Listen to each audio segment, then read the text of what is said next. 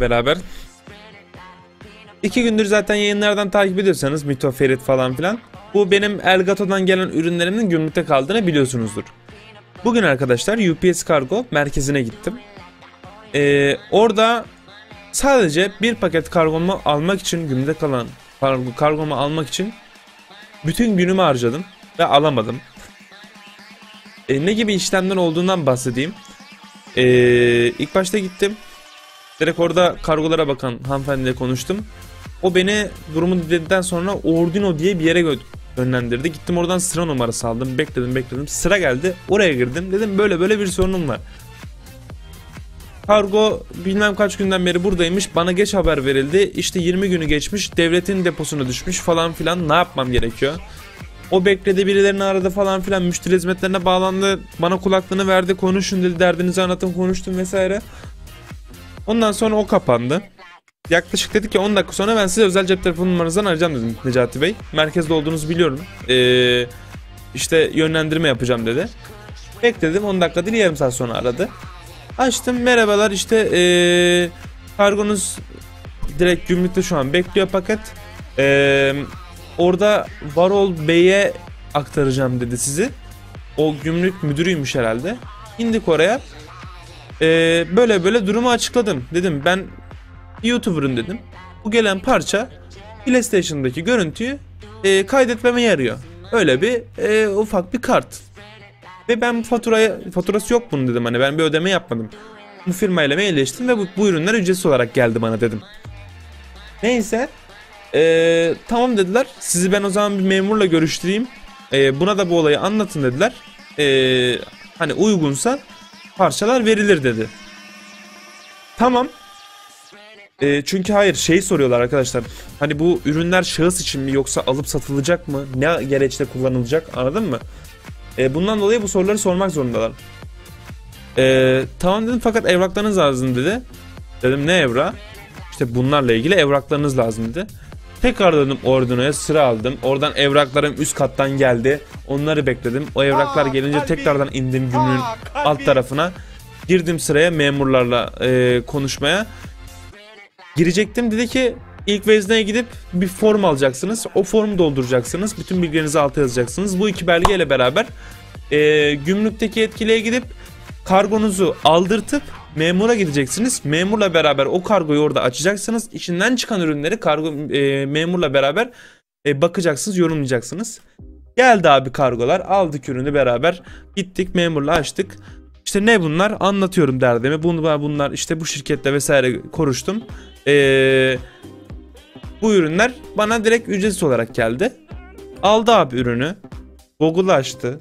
Yazdı. Elgato HD 60 Ne kadar? 160 dolar. 160 artı. Açtı abi Stream Deck. Yazdı. 150 dolar. Artı 150. Ne kadar etti? 310 dolar. 310 artı bölü KDV %18 220 lira. E dedim. Aynen Stream Deck. iki parça. Bunu ödemeniz gerekiyor dedi. Dedim ödeme sebebim ne dedim. Dedi anlattığınız olaya göre dedi.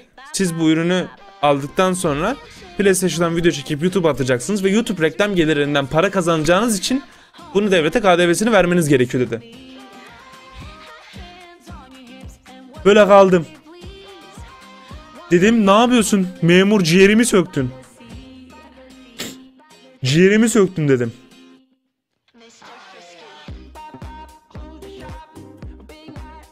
Tamam dedim bari ödeyeyim de alayım yani parçaları toplasan 300-350 dolara yapıyor.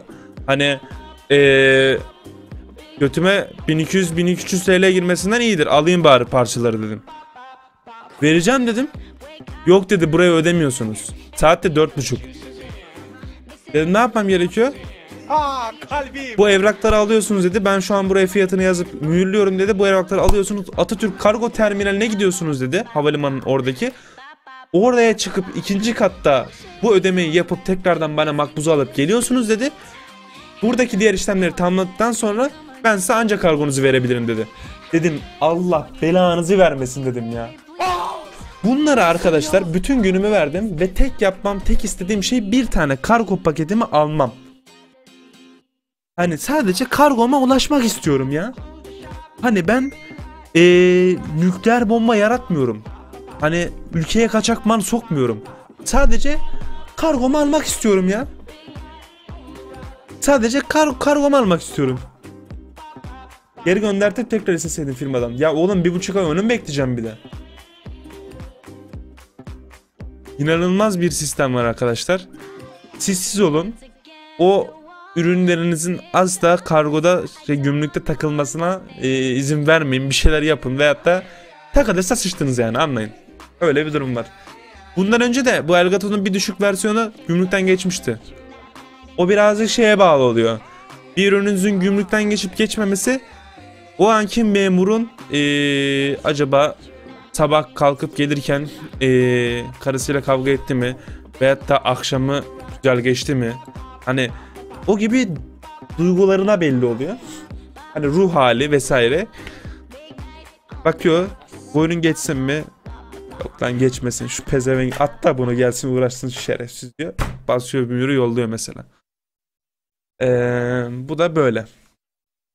Bir anımdır. Bu arada ilk defa gittim ben bu e, gümrük mevzularına vesaire. Abi bir vezne tarafı var sıraya girilip işlemleri gerçekleştiren bir memur yeri var tamam mı?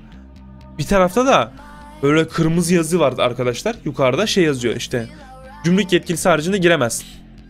Kapıda adam falan bekliyor zaten. İçeride bir sürü koliler var. Oradaki yetkililer, gümrük görevlileri falan forkliftlerle falan dolaşıyor. O derece bir trafik var içeride. Her şey gümrükte kalmış. Millet koşturuyor.